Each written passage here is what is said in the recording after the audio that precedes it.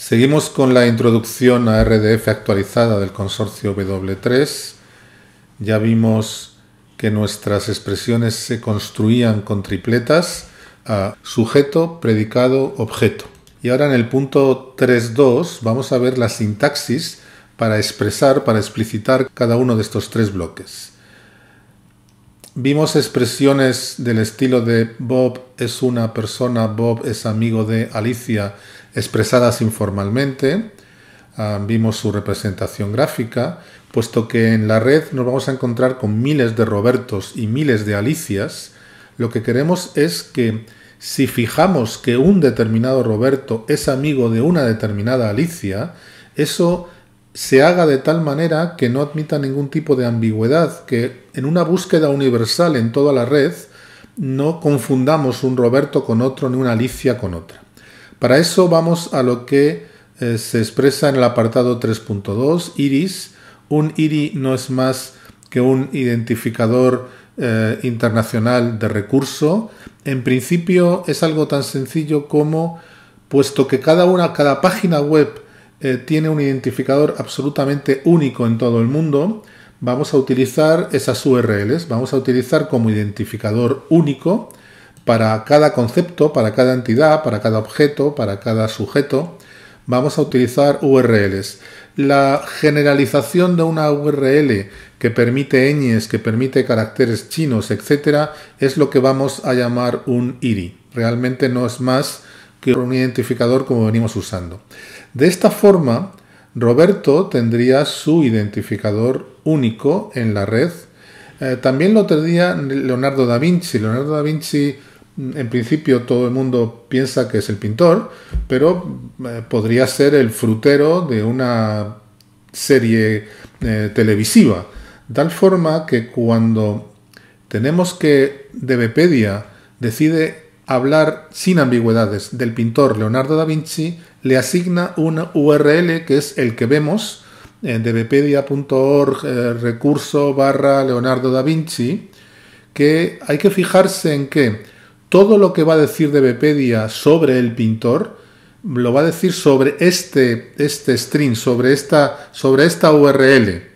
Eh, y hay que también fijarse que son dueños de todo el prefijo de bpedia.org barra recursos, no han tenido que pedir permiso a ningún organismo central para asignar esa URL. Ellos han decidido internamente que cuando hablan de Leonardo da Vinci, estrictamente se refieren a esa URL única en todo el mundo.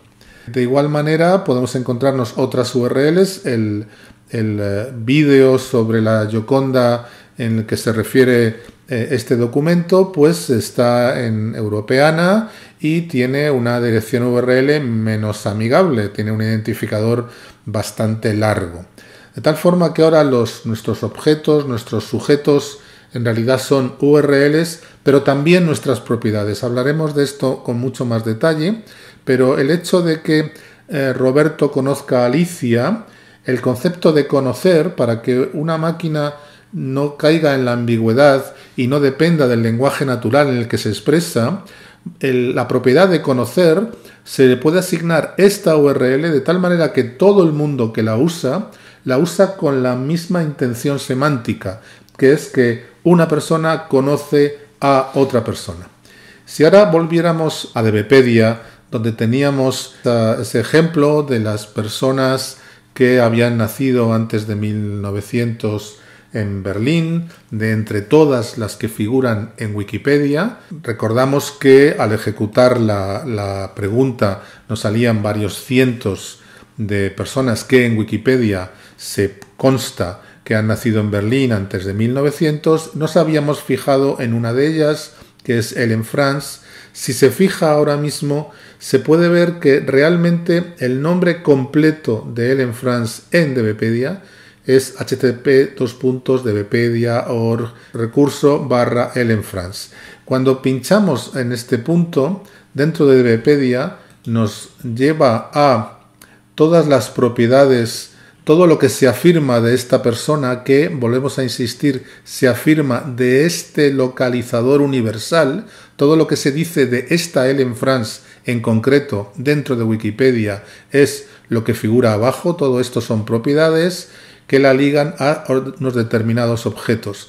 En concreto, si vamos bajando, encontramos todo lo que se puede decir de Ellen France y se puede afirmar, entre otras muchas cosas, por ejemplo, que es esposa de eh, este determinado señor.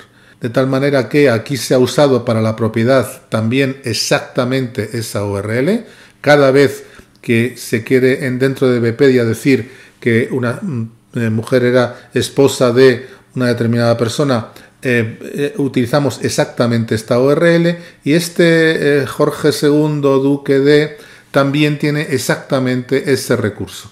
Si pincháramos aquí, si pulsáramos aquí en Dvpedia, haríamos la consulta de todo lo que sabe Wikipedia acerca de este Jorge II y encontraríamos eh, bueno, pues un montón de afirmaciones construidas como ternas, siempre de nuevo sobre esta URL, se está hablando exactamente de este señor, Jorge II, duque de tal, y entre otras muchas cosas, pues nos encontraríamos con, eh, por ejemplo, su ah, lugar de fallecimiento. Es decir, esto, exactamente este dbpedia.org barra property eh, justamente se usa cuando se quiere relacionar a alguien con su lugar de fallecimiento y aquí, aunque está eh, contraído, aunque solo aparece bad, etc., realmente el localizador interno de esta entidad, de este recurso, es eh, una URL bastante más larga. Eh, hay que fijarse que ya sea simplemente fuera de lo que son estrictamente localizadores, que aquí hemos preguntado por las personas que nacieron antes de 1900 en Berlín.